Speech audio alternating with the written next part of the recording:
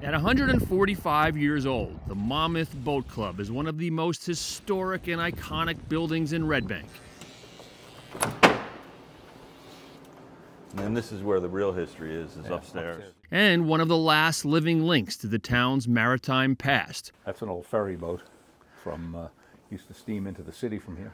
It's also in danger of ever so slowly sinking into the Navesink River.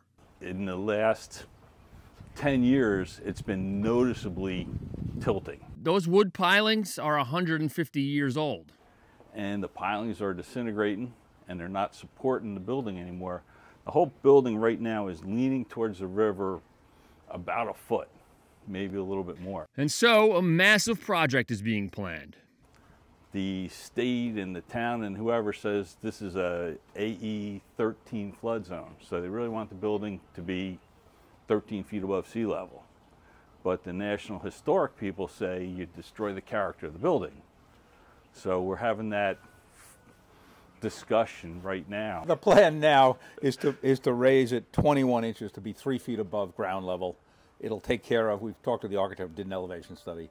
The pla raise it that much We'll just keep it above the water most of the time. That'll solve 98% of our flood issues and still keep the character, and we'll be good. For the other 2% of the time, like in 2012 when Hurricane Sandy surge sent six and a half feet of water through this place, well, the building is made to withstand floods like that. There's a single layer of flooring that dries fast and holes for the water to drain right out. The place floods.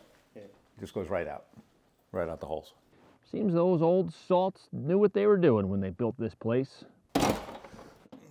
If all goes well, the massive job of moving the building aside, building new pilings, and then putting it back will begin in autumn 2025.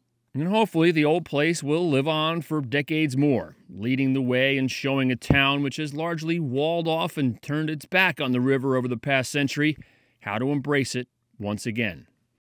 This is not something we can close our eyes to anymore. We really got to get it done. Brian Donohue reporting for Red Bank Green.